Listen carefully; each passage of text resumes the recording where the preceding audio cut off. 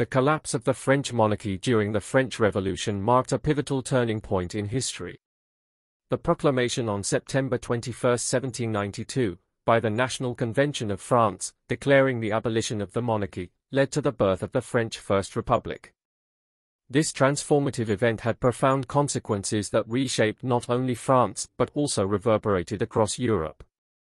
The French monarchy, which had been a cornerstone of power for centuries, was dismantled, paving the way for new political ideologies and profound societal changes.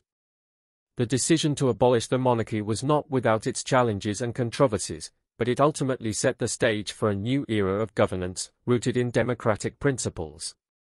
The French Revolution itself, spanning from 1789 to 1799, was a period of radical change, driven by a desire for liberty, equality, and fraternity.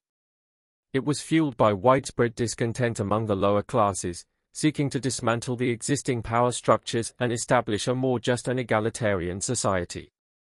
The fall of the Bastille in 1789, a symbol of royal tyranny, became a rallying cry for the revolutionaries, propelling the nation toward a more democratic government.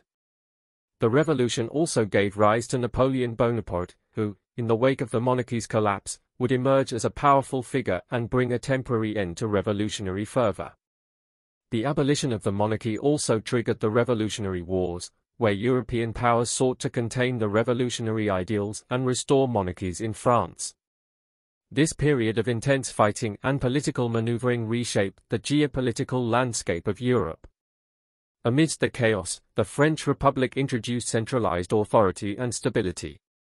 Economic and educational reforms promoted financial stability, investment, literacy, and civic awareness, collectively laying the foundation for democratic governance in post-revolutionary France.